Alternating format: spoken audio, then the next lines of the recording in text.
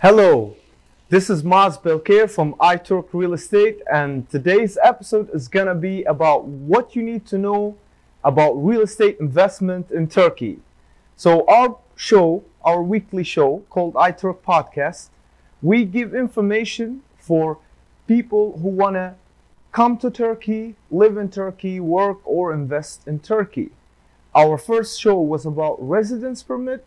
The second one last week was about uh, company establishment. And today's episode is going to be about real estate investment. If you have any questions, I would like to remind you that you can ask them in the comments below and we will answer them at the end of this live video. Also, I would like uh, for you to share this video so more people can uh, get this information which we'll be covering today.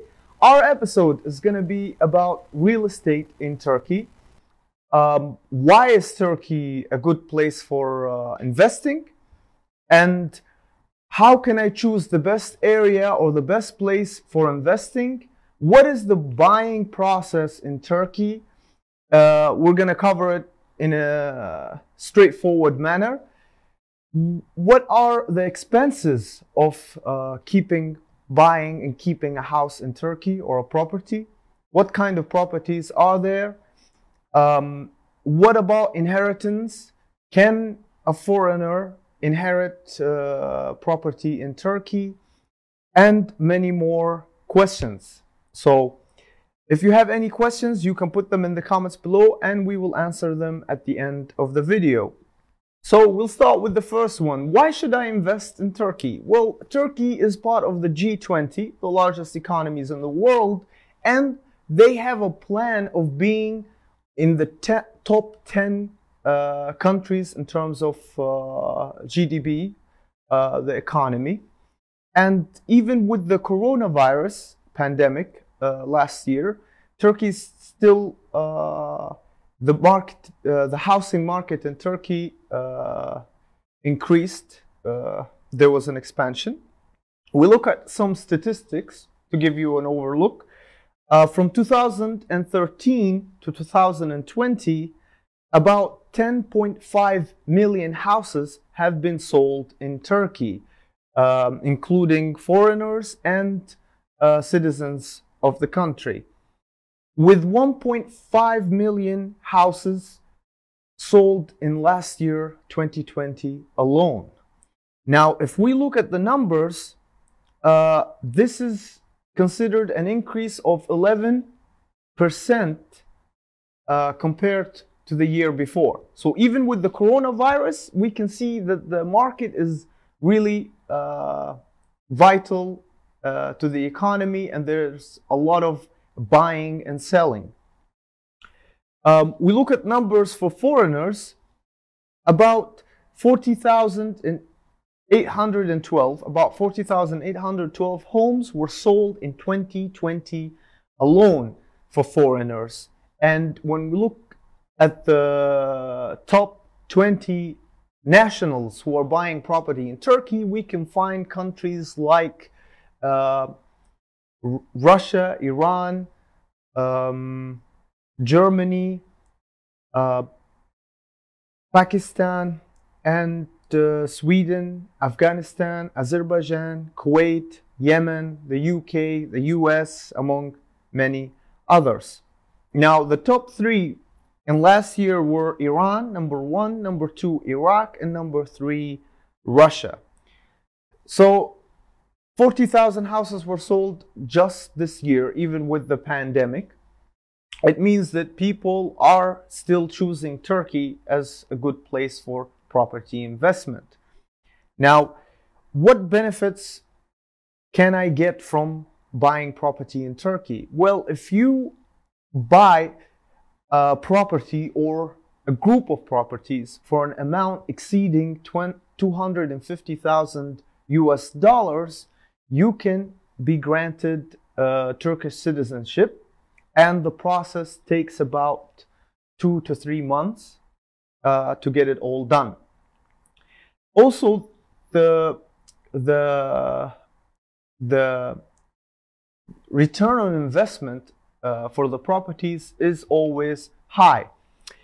Now, how to find the best properties in Turkey? Well, this depends on your preferences. Do you want to live in the property? Do you want to rent it? Do you want it for other investment purposes? Well, you have to look at the price compared with other properties in the same area or with the same uh, qualities. Now, there's there's a good way uh, for a lot of investors to do is to find a place which has a lot of potential in the future. Now, let's say I I take a look at a project which is being built or was just recently uh, uh, built. And there's a lot of projects in that area which are being uh, constructed. Let's say there will be a new metro station, there will be a new shopping center. And I take a look at these factors so I understand how much value this property is going to have after a couple of years. Now, after I take a look uh, about these things, should I use a real estate agency to help me with the buying process? Of course, you should use a real estate agent because you're getting consultation for free and you're getting experts who can scan all the properties for you and find the best uh, options for you to make a choice. Now, when I say, of course, you need to buy, you need to buy with the help or assistance of a real estate agency, it doesn't mean that you can do it with any agent. You need to take a look at uh, the companies which are working in real estate and compare them. You can also we live in 2021, so you can easily go on the internet and cross check or cross uh, examine these companies and see if they have a, a, a, reputable brand, if people are talking about it. Is there uh, are there any good reviews or negative reviews about the company? You can ask uh, other people who said that they've uh, worked with this company. You can look at their address, their information. You can call them, you can visit them, and then you can visit other companies and try to see uh, which one works better for you. Now, the reason why you should use a real estate agency is because, first of all, you might not uh, know the language here, Turkish. Also, it can be uh, very complicated for you to try to explore all the options you can uh, see in Turkey because there's uh, a tremendous amount of projects. Even the locals use real estate agents to help with the buying and selling process. Now, let's say I chose a real estate agency and now I'm working with them and I tell them my preferences, my budget, and what I'm hoping uh, to buy. Now, if you're abroad, you can also get a viewing trip or a viewing tour booked with the real estate agency. So the viewing trip basically is I get uh, options of properties. I look at them, I filter them, and then I choose the ones which are um, appropriate for me. And based on that uh, number of properties that I'm really interested in buying, I can book a viewing trip. Now, the viewing trip with it differs from agency to agency, but it can also include your flight tickets, uh, the hotel accommodation, taking you from the airport and taking you back. Um, you will go around uh, the places to see the properties and check them for yourself. And then if you decide on choosing one, you can uh, make a sales contract, you can uh, give the power of attorney to a lawyer so they can uh, finish up the buying process for you. And then you don't even need to stay in the country. You can just go back and wait for the process to finish. Now, if you're living in Turkey, you can basically do this uh, much easier. Now, we will talk about the real estate buying process. So let's say I I chose a property which I really want to buy, I'm interested in buying, and I have made my decision. Now, the first thing I need to do is to check if this property has any debt or any kind of uh, problems uh, which might affect uh, the purchasing uh, the purchasing uh, process. Now, if you're buying properties for uh, citizenship, means that you need to buy for $250,000 or more, then there's a couple of things that you need to uh, check. First, the properties which, you, which you're buying can be bought from foreigners. If you're buying a property from another foreigner, you cannot use it for applying for citizenship in this uh, program. Uh, second, you need to check that there's uh, no debt uh, or any problems with the apartment. You need to check uh, the title deed, which is called tapu, and we will cover this a bit later. usually, if there's a problem, if there's some mortgage payments, anything you can find in the tapu, or you can check with the municipality and uh, the real estate uh, uh, registry. Now, after I checked with these things, it's better, of course, to use uh, an agent or a lawyer uh, to help you with this process, and it will be smooth for you. Now, I chose the property, I checked everything. The first thing I'm going to do is to pay a deposit to take out the property from the market to not be listed anymore so I can start negotiating uh, and making the buying uh, process. Now, how much should I pay as a deposit? Well, this depends on sorry, this depends on the value of the property. But to give you a glimpse, it can range from 2 to 5 up to 10% of the value. After I pay the deposit, I start uh, negotiating about the terms of the buying process and also I would recommend that you make a sales contract. A sales contract between the buyer and the seller it will have the information of the property you're buying and the payment process and the terms and conditions. Now, you don't need a sales contract to, uh, to buy a property in Turkey, but it is a way for you to minimize risks. And if you're, uh, if you're not paying the full amount, uh, if you're not paying the full amount and you're paying uh, installments, then you need a sales contract. Um, the sales contract should have the information of the property and it needs to be uh, reviewed by a lawyer so you can make sure that uh, your rights are protected and everything is going according to plan. Now, after you make the sales contract, it is also recommended that you notarize it uh, so it stands uh, it will have a good legal standing in case something happens during the buying process. Now, um, we made the sales contract or we decided not to make it. Uh, the first thing we need to do is to to start like the note. This is very important. The sales contract does not mean that the property changed hands. If I sign a sales contract between me and the seller and I uh, I pay the amount, it doesn't mean that I own the property. I don't own it yet. I have to get a title deed. So how to get a title deed? You apply to uh, the Directorate General of Land Registry and Cadastry.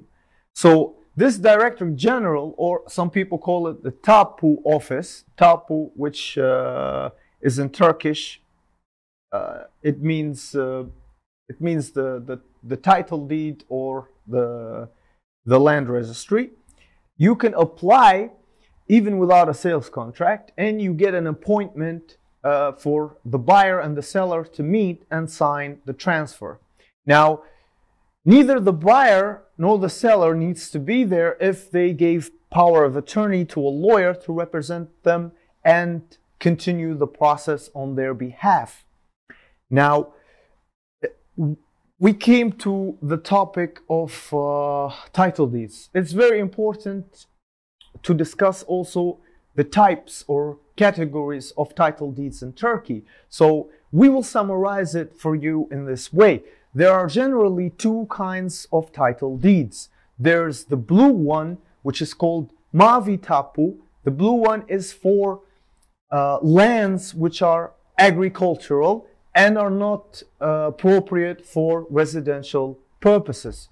If you're buying land for like a farm or for agricultural purposes and it's not assigned by the government that they can use it for residence, then you will get a blue title deed, which is called Mavi Tapu. On the other hand, you have the Pembe or the pink or the red title deed. The red title deed is for places which are residential and it can include land uh, which is suitable to be built as a residence. Let's say uh, an apartment building, a house, a villa, an office. All of these are included in the red title deed. Now, the red title deed also has three categories within. These three categories are either uh, full title deed or uh, construction title deed or timeshare title deed.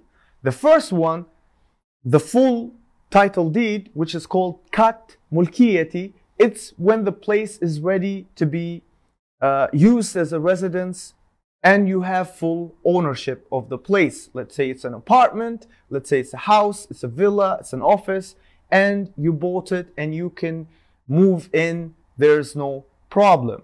The second type, which is called kat irtifaki, it's usually when the building is still in the construction process or it didn't get uh, a permit or a certificate from the municipality that you can move in and use it as a residence. Now we move into the third part, which is called uh, Mulk or timeshare. So timeshare is more like um, vacation ownership. So let's say I buy an apartment or a building and I get to use or reside in this property for about 15 or 20 days per year. I can choose to rent it during this time or I can use it to reside myself. Uh, this kind of uh, ownership is not renting, it is owning, and it's uh, uh, written in the title deed that you have a specific number of days uh, designated in, at what time that you can use this thing. So the Devre Mulk or the timeshare is very popular in uh, touristic cities in Turkey. Let's say there's a large luxurious residential, uh, uh, sorry, large luxurious resort, and there's and there are apartments uh, there for Devre Mulk or time sharing. I might not need to pay the full price because I don't want to live there uh, indefinitely, but I would like to go there, let's say, for two weeks every year for vacation. I can then apply to get, uh, because it can also be that they're offering for you to buy it at a very discounted price. So I get a title deed stating that I can stay there for this amount of time per year. I can also rent it when I don't want to uh, use it. Do I have full, complete ownership of that property, yes, you have complete ownership of that period of time. In case you want to sell it or you want to uh, change the ownership, you can do it. You're free uh, uh, to to do what you like uh, with this amount of time.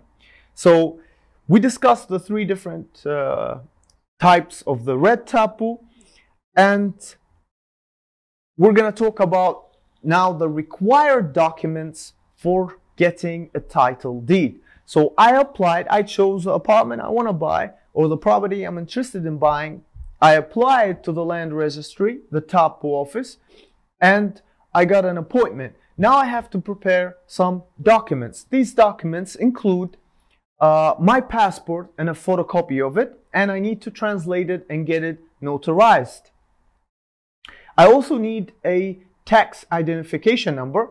I can get the tax identification number without a residence permit. Uh, it's a simple process, can take about two minutes. Also, I need a copy of the current title deed from the seller. And I need the receipts of the fees to be paid. So, what fees are there to be paid? We're going to cover the fees at the end of this video, but there is uh, a percentage that you need to pay to the land registry. And when you're about to sign, uh, you will come with the seller, the buyer and the seller. If there, if uh, you have the power of attorney, then someone else will be acting on your behalf. They're gonna, uh, the clerk will uh, will read you the terms, and they will tell you that this uh, property you're buying is located in this area and the street. They're gonna give you the address, the size of it, everything, so you make sure that you are buying the right property which you saw. Uh, this is very delicate. Here they focus on this uh, matter to make sure that uh, no scams happen with foreigners. Um, another thing which you need to uh, uh, which you need to uh, consider is that you need to pay the amount if you're buying it before you get the title deed. Now,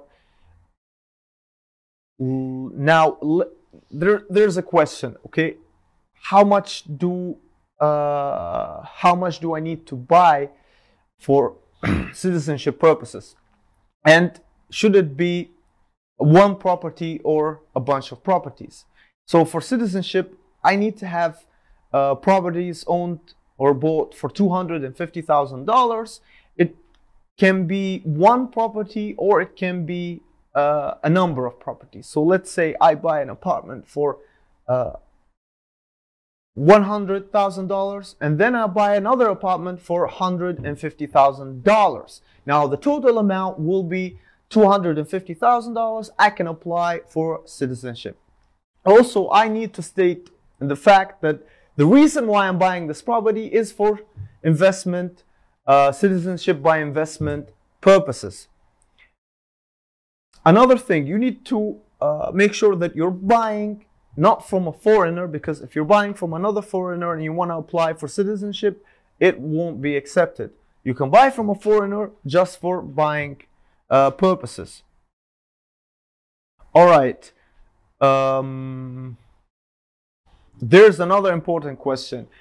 Uh, can a foreigner buy property in Turkey? Are there any limitations for foreigners to buy property in Turkey? Almost any national can buy property in Turkey. There is actually some limitations on some specific countries. Uh, to give you an overview, uh, recently Turkey decided that they're not, uh, uh they're going to make it more open. So they, uh, they took out the law which had this mutual treatment that the, the countries which do not allow Turks to buy property in, they're now allowed to buy property in Turkey, but there are still some countries about I'm losing my voice. About four or six countries that are not allowed to buy, except if they can get uh, permission from the government. We're not going to say which countries exactly are, but if you want to make sure you go to the land registry and uh, they will tell you for sure if you're allowed to buy property in Turkey or not. Now, if you're not allowed, there's a way to do this. If you establish a company and buy the property with that company. Also, you can apply for permission. Note that in, for some nationals, there are some conditions on buying. So, uh, for countries which are close to Turkey, they're not allowed to buy property in the regions which are close to their country. Let's say uh, the countries like Greece, Russia, they cannot buy in the areas which are close uh, to their countries. There's also some other limitations. A foreigner cannot buy more than 30 hectares in Turkey in total. Now, if you apply for an exception, they can increase that limit to 60 hectares, but generally it's only 30 hectares. You cannot buy property in military or security zones, and you cannot buy property more than 10% of a certain uh, neighborhood or area or uh, village. So if you follow these uh, conditions, then you have you're free to buy which property you like. Now we move to the next question about inheritance, which is very important and gets asked a lot by foreigners. And there's a lot of misconceptions about this topic. A lot of people believe that when you buy property in Turkey, you cannot inherit it uh, later on. People can't inherit property. This is not true at all. Uh, Turkey protects this right uh, for foreigners. You're treated the same way as citizens. You can inherit property, but uh, the person who is inheriting should also follow the conditions. If the person does not follow the conditions of the nationality or the total number of uh, hectares or the other conditions, then at that point the government can sell the property and reimburse you with the value. So the, the inheritance rights are protected. There's also a question of who gets to inherit. Well, this depends on the country of the national. You need to get a paper from the court, from your home country, stating that uh, this inheritance is decided in this uh, way with these terms and conditions, and then you can bring it here and follow up with the process. All right, we come to our last uh, topic, and then we're going to take your questions. So, our last topic what are the expenses of buying property in Turkey? So, if you're an investor and you're planning to buy a property in Turkey, you need to also check how much expenses you're going to pay for the buying process and how much you're going to be paying every year to keep that property. Now, if you're using a real estate agency, then you need to check with the agency if the properties you're interested in buying uh, have a certain commission or that the commission is included in the price. And this really varies. Some uh, project houses, uh, some projects, they have uh, a list price which includes uh, the commission of the real estate agency. So you don't need to pay any extra fees. And in some cases, uh, there's a fee which starts from 2 up to 4%. cannot be higher than 4%. So this is the real estate agency fee. Um, currently, there's a lot of projects which have the commission included to make it more attract, uh, to make it more attractive for the investor. Now, do I need a lawyer? Yes, you need a lawyer if you want to make sure that things go smooth, since you don't know everything about the laws here in Turkey, and the lawyer fee. Um, the lawyer fee, I don't know, it can range from a thousand to two thousand to three thousand dollars, depending on the lawyer and depending on what kind of investment you're going to be making. Um, there's another thing which you need to do, which is now compulsory. It's called appraisal report. So basically, the appraisal report is done by experts to check the to check the value of the property and make sure that it is not overvalued or undervalued. This is done by specific companies which are uh, accredited by uh, the Free Markets Board in Turkey. Uh, it's called Expertise uh, Rapport in Turkish, and you can get it for as uh, little as $150.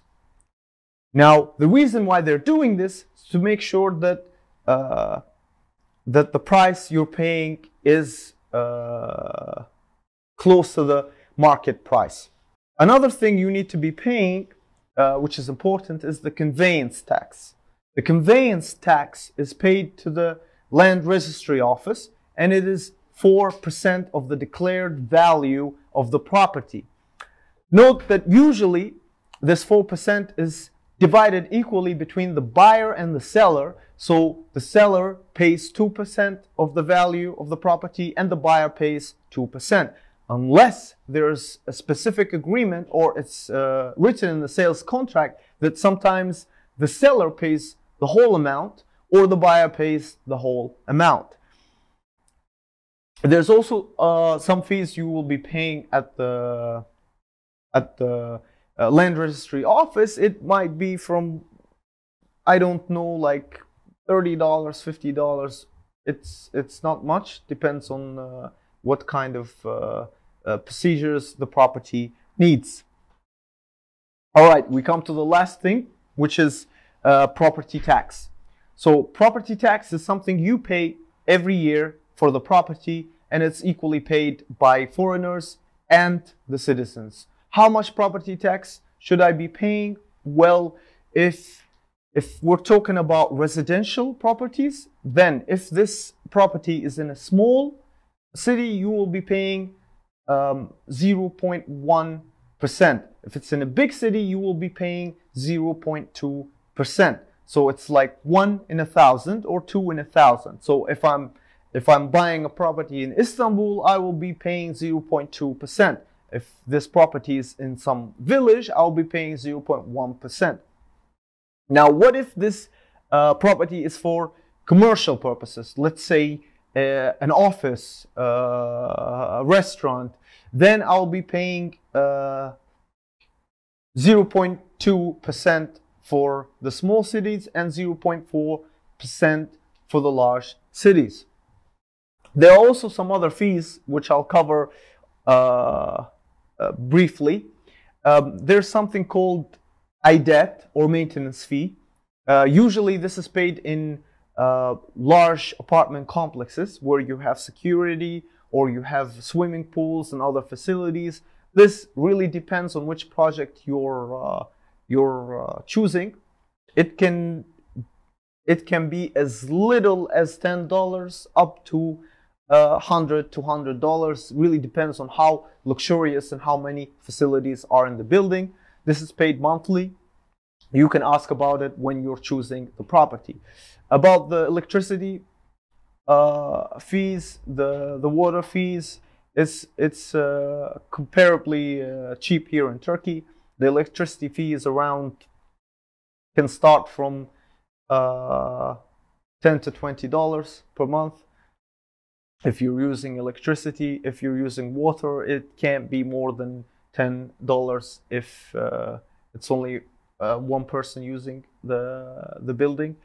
Uh, internet is also cheap, around 10 to $15 per month. Uh, so basically, these are the fees which you uh, might expect to be paying. Of course, there are some conditions depending on what kind of property you're buying, if it's for agricultural purposes or if it's a building still under construction.